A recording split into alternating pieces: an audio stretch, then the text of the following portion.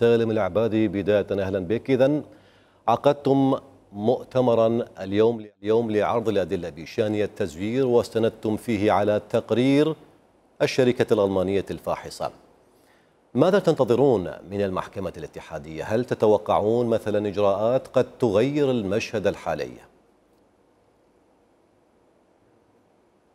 بسم الله الرحمن الرحيم تحية لك أخي الفاضل ولقناتكم الكريمة ومشاهديكم الكرام إحنا منذ اليوم الأول لعمليه الاعتراض على نتائج الانتخابات ومنذ اليوم الأول لنزول الجماهير إلى الشارع والاعتصام قرب بوابات الخضراء كان الهدف الأساس والمطلب الأساس هو كشف الحقائق وليس كما يسوق البعض مسألة أنه البحث عن مقاعد أو مناصب.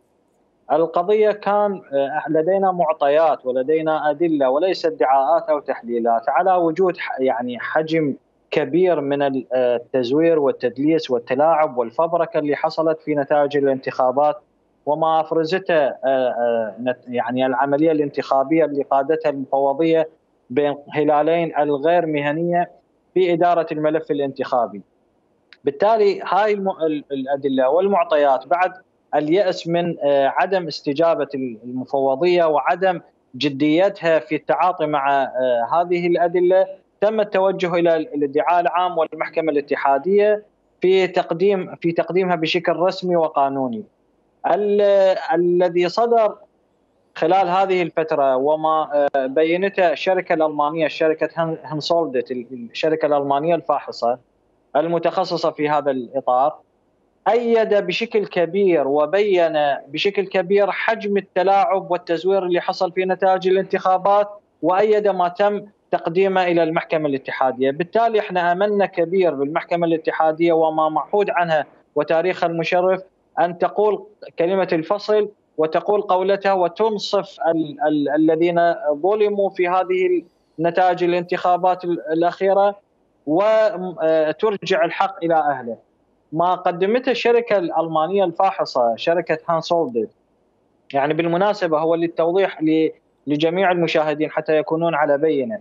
هذه الشركة هذه الشركة لم تأتي عبثا. البرلمان العراقي السابق حينما كان هناك تخوف عنده كبير من مسألة تحويل يعني الانتخابات إلى إلكترونية بحتة واجهزه تسريع النتائج وغيرها باعتبار دول عظمى دول عظمى مثل أمريكا وغيرها لحد الآن التحقيقات قائمة حول هجوم أو عمليات تلاعب حصلت في نتائج الانتخابات نعم. كيف بالك بالعراق؟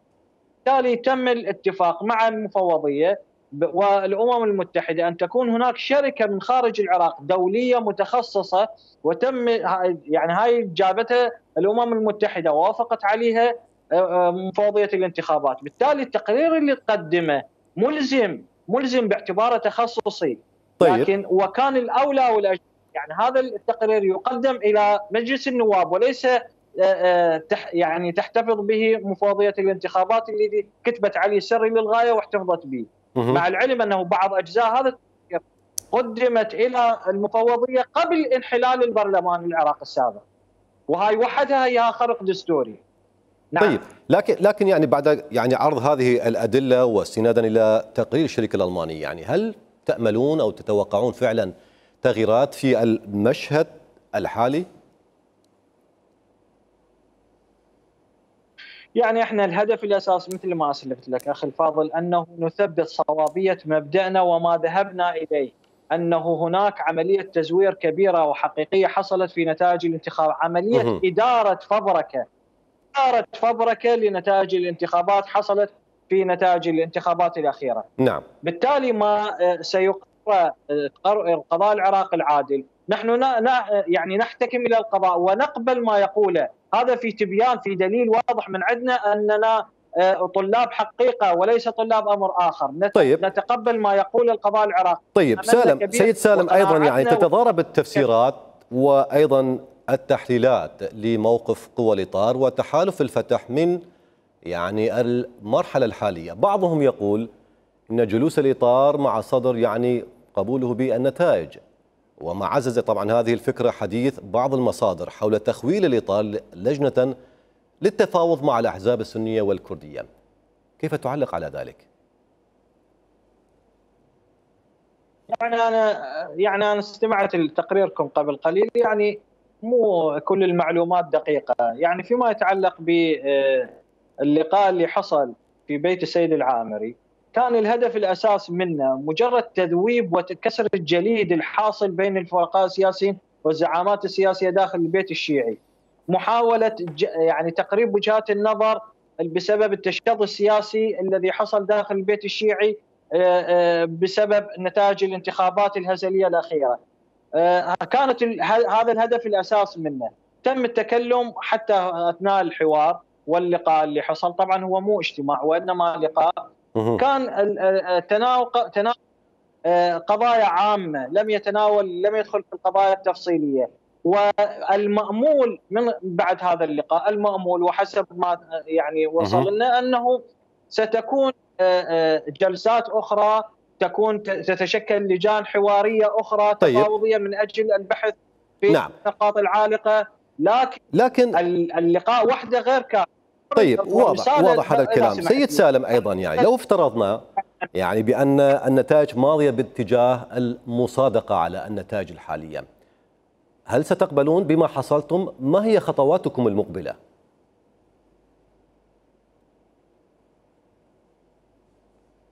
يعني مثل ما اسلفت لك نحن آه، لدينا ثقة عالية بالقضاء العراقي وما سيقرر سنقبل به بالتأكيد في تأكيد منا أننا أحرص من غيرنا على المصلحة العليا للبلد، هاي النقطه راس نعم. منتهين منها.